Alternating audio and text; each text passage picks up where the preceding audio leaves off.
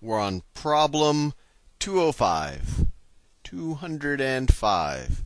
In the table above, what is the number of green marbles in jar R? Okay, so they, let's see, they give us a table. See, they have jars, jar P, Q, and R. And they say number of red, number of red, they say is X, Y, and X. And then they tell us the number of green. Number of green is Y, Z, and Z. And then they tell us the total. Total is 80, 120, and 160. And they say in the table above, what is the number of green marbles in jars? So green marbles in jars. So we need to solve for z. z. So what we have here is three variables, and we have three unknowns, and we actually have three equations because we know that the red plus the green is equal to the total for any one of the jars, right? y plus z is equal to 120, and x plus z is equal to 160. So let's just try to solve this equation. So let's let's try to uh, get everything. I don't know. What do we want to cancel out first? What what happens if we subtract that equation from this one? So let me rewrite that one over. So that's x plus y is equal to 80. I just rewrote that column up down here. Now, if we were to subtract this from that, or let's just multiply it by negative 1. So minus x, minus y, minus 80. And now let's just add them. We get 0 plus z minus y. So we get z minus y is equal to, what's 160 minus 80? Well, that's just 80, right? And now this is interesting. We have z minus y equals 80, and z plus y is equal to 120. So I think we're pretty close. So let's write that. So we could write this equation. I'll write it in yellow. z plus y, I just switched the order, is equal to 120. And I'm the, in the back of my mind, I'm like, well, all I have to do is figure out z. So if I can figure out z as fast as possible, all the better. Add these two equations. 2z plus 0 is equal to 240. z is equal to 120. And that's the number of green marbles in jar R. 120. And that is not one of the choices. Not one of the choices. So where did I make a mistake? I often make a mistake right near the end. But let's see. x plus z. Right, let me see. x plus y is equal to 80. y plus z is equal to 120. x plus z is equal to 160. Fair enough. Now, I took this equation, oh, and I took this one and I multiplied by negative 1 and put it here. Minus x minus y is equal to minus 80. Then I added these two. So you get the x's cancel out, and you're left with z minus y is equal to 80. Fair enough. z minus y is equal to 80. And then this equation says y plus z is equal to 120. Oh, I see my mistake.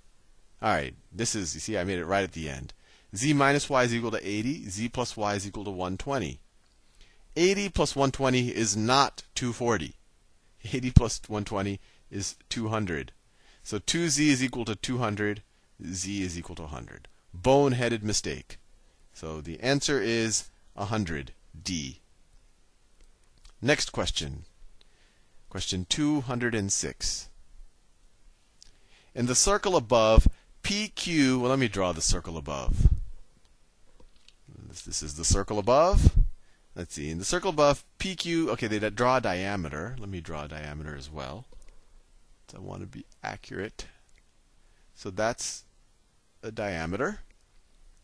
And they label this as O and R.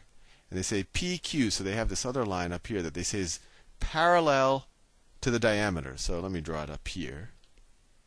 So maybe it looks something like this. That's parallel. And they call this point P, this point Q, and then they have another line that says a 35 degree angle. So let me see if I can draw that. They have a line that goes from here to here. And they tell us that this angle right here is 35 degrees. Fair enough. In the circle above, PQ is parallel to diameter OR. and has length, and OR has length 18. OR has length 18. What is the length of minor arc PQ? Fascinating. So they want to know what this is, right? So we know we can figure out the circumference of this circle, right? The circumference, we know its diameter. It's just going to be the diameter times pi, right? So we already know that the circumference of this circle is 18 pi, or 2 times the radius times pi, but same thing. Now, in order to figure out this arc length, what would be useful, and I don't know yet if I can figure it out, is if we could figure out this angle right here. If we could figure out this angle right here, we'd be done then we could easily figure out we could easily figure out because that angle as a proportion to 360 would be the same relative proportion of the total radius.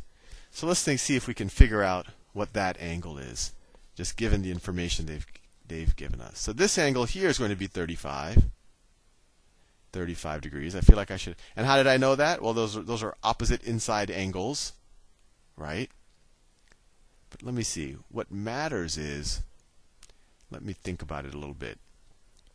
If I had, if I had, I mean, this is on the circle. Oh, well, this is interesting. Actually, this is, so what is, we should use the information, this is a circle. So what is the length of that right there? Well, if the, if the diameter is 18, then the radius is 9, right?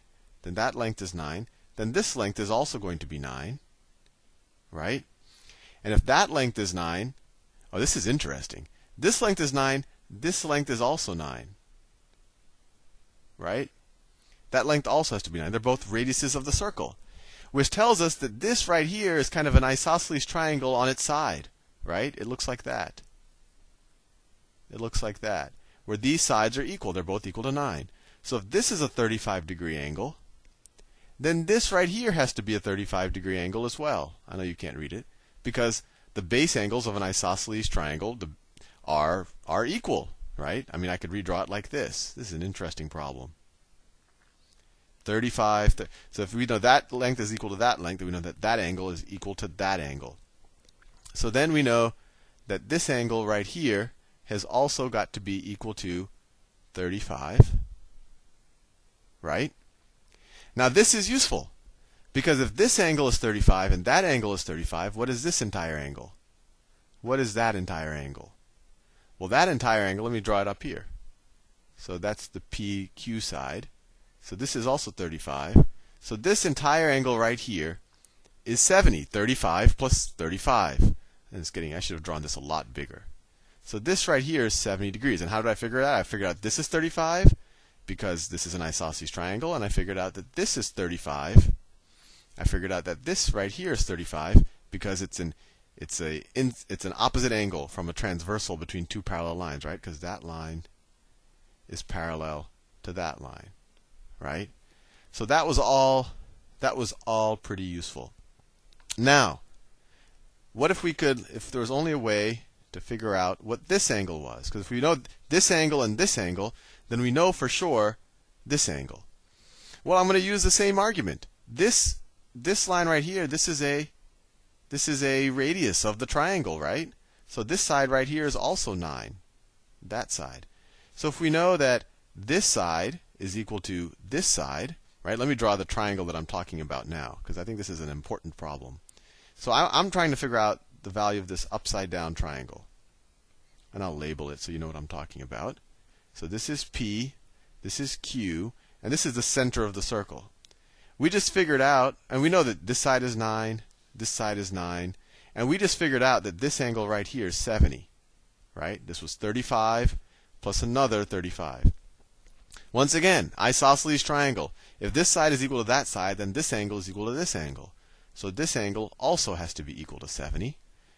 And now if we know two angles of a triangle, we know the third.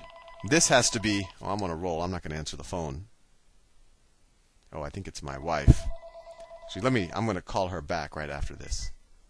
So what was I doing? I lost my train of thought. But oh, I was on a roll. So if this angle is 70 degrees, this angle is 70 degrees, then this angle has to be what? 70 plus 70 plus x is equal to 180 degrees.